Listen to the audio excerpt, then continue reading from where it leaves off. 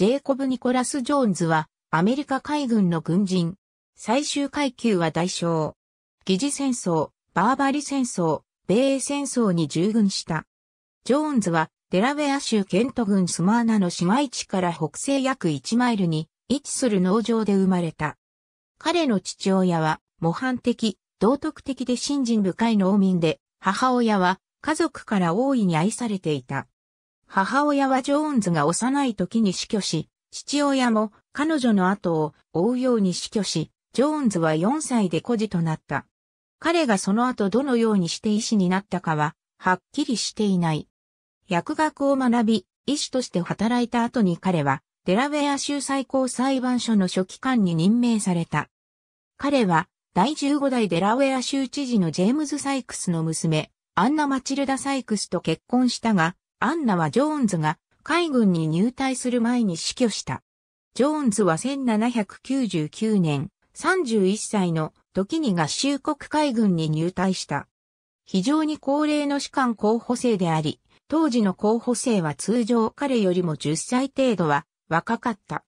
ジョーンズは妻の死の悲しみが理由で海軍に入隊し、22ヶ月を士官候補生として過ごした。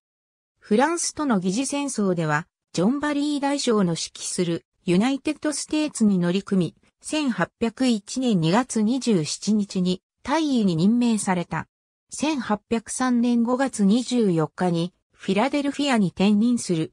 1803年10月31日にトリポリ湾で他の乗組員と共に捕らえられ、1805年6月まで拘束された。1810年4月20日にジョーンズは中佐に昇進し、6月4日にワスプの艦長となる。1812年10月にワスプは大西洋に出港した。10月13日にイギリス軍のブリック、ドルフィンを捕獲した。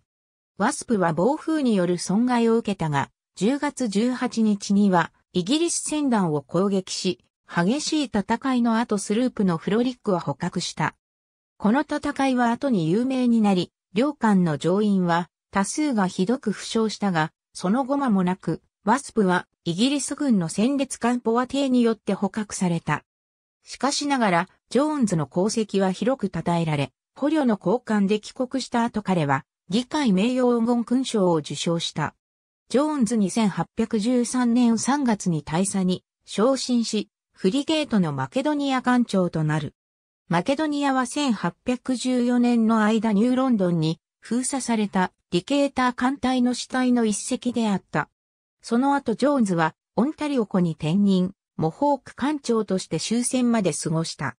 1815年の第二次バーバリ戦争でジョーンズは再びマケドニアの艦長となり、その後1816年から18年までゲリエールの艦長を務めた。ジョーンズは大将に昇進し、1821年から23年まで地中海で1826年から29年まで太平洋で勤務した。その間陸上勤務ではワシントン DC で海軍委員を務め、1830年代から40年代にかけてボルチモア及びニューヨークで重要な任務を務めた。1847年にフィラデルフィア海軍保護施設の司令官に任命され、1850年8月3日に死去するまで同職を務めた。彼の栄誉を称え、アメリカ海軍は3隻の艦にその名を命名した。ワシントン州のジョーンズアイランド州立公園も彼にちなんで名付けられた。ありがとうございます。